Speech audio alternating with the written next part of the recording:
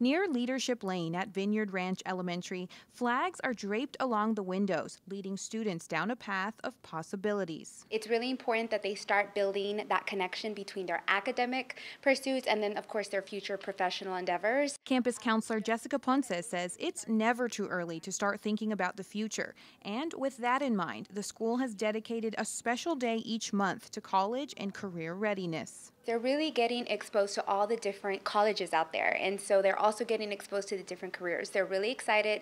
They come with that motivation that it's college day. So we really like to see that. Students and teachers sport their favorite shirt, while parents are invited to speak during the morning announcements, sharing information about their careers and what college they attended.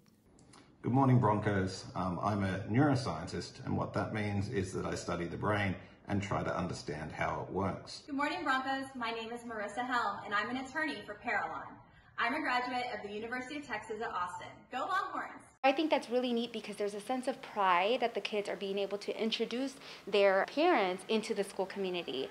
Uh, so it's really important to build that connection again, to build that community element. And it certainly has students thinking about what's next. I chose this shirt because my mom went to this college and I just, I'm kind of want to go there to be honest. I want to be an Olympic swimmer and a doctor.